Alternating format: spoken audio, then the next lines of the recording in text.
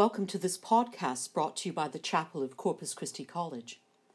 I'm grateful to the organ scholars, chapel wardens, and choir for all the hard work they have put into creating this series of podcasts over the course of the Trinity term. Corpuscles are dispersed all over the globe, and we cannot gather together as a community. But although we are dispersed, we are working hard at not being remote. The college chapel is authentic to its foundation as a place of Christian worship and is also authentic to itself as a place of welcome, participation, and hospitality to everyone. We hope that these podcasts will provide you with some spiritual resources, whatever your faith or none, as we near the end of term. This Sunday is Trinity Sunday, a bit of an outlier in the Christian calendar because it celebrates a doctrine about God or a, an idea about God, if you will, rather than what is more normal, an event in the life of Christ, such as Christmas celebrates his birth and Easter his resurrection. Another example is Corpus Christi Day, which we will celebrate this coming Thursday. Our college was named for that feast day by our founder, Bishop Fox, but more of that later in the week. I'm grateful to the Reverend Barney Barron for accepting the invitation to preach for us on this day.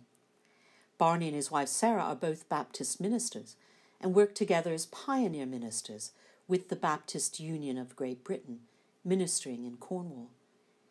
They also have the distinction of being Corpus parents and we're very grateful to them for that too. When these plans were made, like all the well laid plans made before COVID 19, we had hoped to welcome them to the college. So I am grateful that Barney can at least be with us virtually as we near the end of term. It is well known amongst us religious professionals that Trinity Sunday can be a challenging preaching invitation so I am grateful to Barney for accepting our invitation. But at its heart, the Trinity is about love. That at the heart of God is the loving relationship of the three persons Father, Son, and, and Holy Spirit, in mutual love, accord, and self giving. We human beings are made in that image of God. We are made for love, and a love that inclines to justice. A message we need more than ever, as the depth, as the depth of systemic racial injustice, something that BAME people know very well already, is being laid out so clearly for those of us who are not. Let us pray. Trinity of love, maker of humanity in your image, Give us the grace to see your image in us and in each other, and to know how great our need is for one another and for you. Hear this prayer for your love's sake. Amen.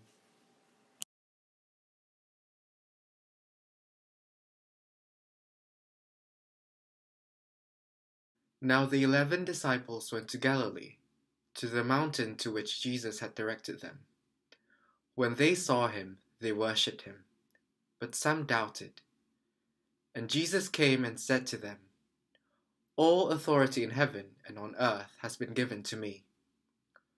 Go therefore and make disciples of all nations, baptizing them in the name of the Father, and of the Son, and of the Holy Spirit, and teaching them to obey everything that I have commanded you. And remember, I am with you always to the end of the age.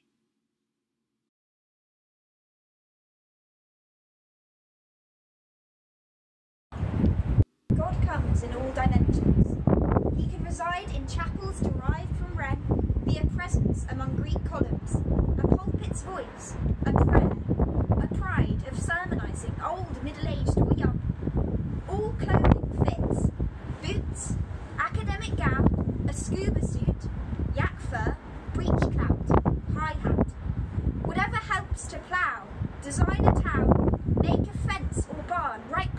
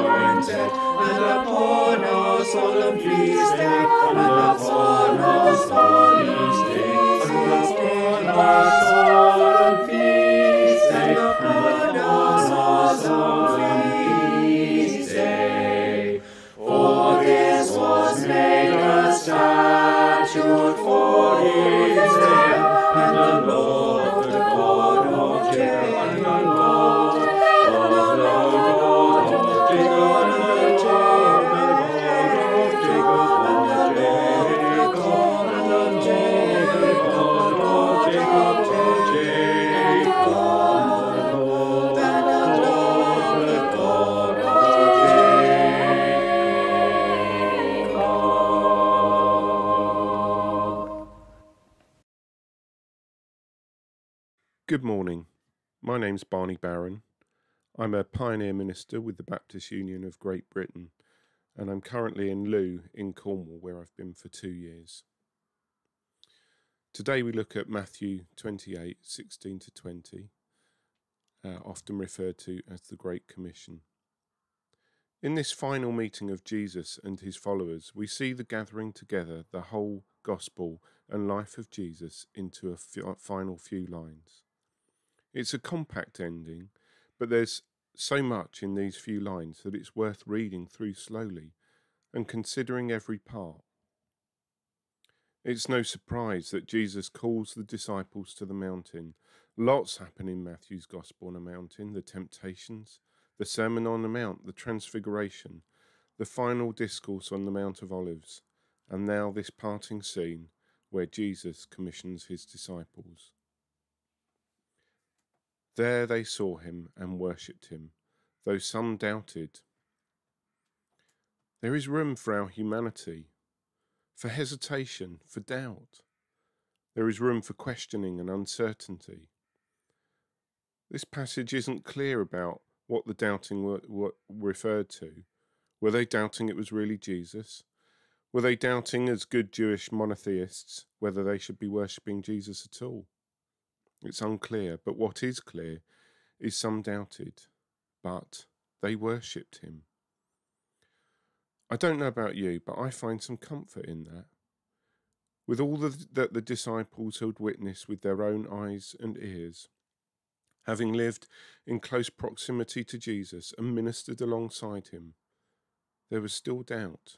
And yet Jesus was commissioning these eleven with a most awesome task and placing into their hands the responsibility to take the movement and mission of God to all nations.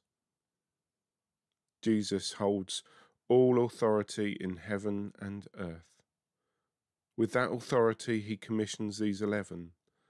Though some are doubtful, confused, and probably quite scared, he commissions them to carry on God's restoration plan for the world. For some followers of Jesus in our modern times, evangelism has become an uncomfortable word. I confess at times, even as someone ordained as an evangelist within the Baptist Union, it has at times sat uneasily with me.